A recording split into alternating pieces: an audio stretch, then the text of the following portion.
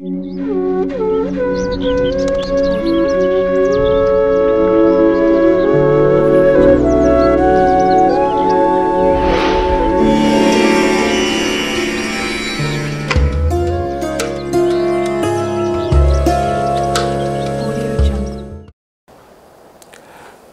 వారు ధనత్రయోదశి పర్వకాల సమయంలో లక్ష్మీదేవి అమ్మవారిని ఇంటికి స్వాగతం పలకడం కోసం ఎలాంటి విధులను పాటించాలో ఈ వీడియోలో సవివరంగా సంపూర్ణంగా తెలుసుకుందాం.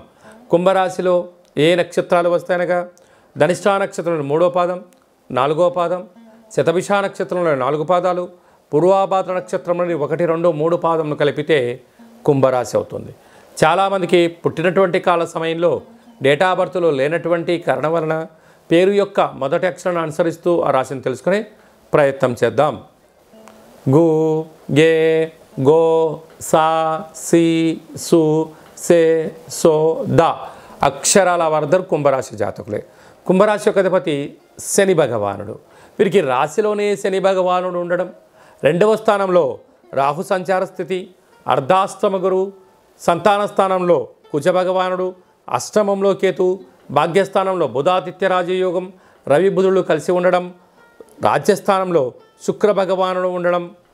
ఇలాంటి కాల సమయంలో ఏళ్ళ నాటి శని మధ్యమ సంచార స్థితి జరుగుతూ ఉండగా వచ్చేటువంటి ధనత్రయోదశి పర్వకాల సమయంలో పూజా మందిరంలో లక్ష్మీదేవి అమ్మవారి దగ్గర నారికెల దీపాన్ని ఏర్పాటు చేసుకోవడం సింహద్వారం బయట తెల్లటి నువ్వులతో పిండితో తయారు చేసేటువంటి నువ్వుల పిండి ప్రమిదలను ఏర్పాటు చేసుకొని కొబ్బరి నూనెను ఆముదాన్ని వేసి దీపాన్ని వెలిగించడం వలన కొత్త పత్తి ఒత్తులను వేయడం వలన వీరికి మనశ్శాంతి ఆయువృద్ధి జ్ఞానవృద్ధి విపరీతమైన రాజయోగము కుంభరాశి వారి సొంతం కాబోతుంది.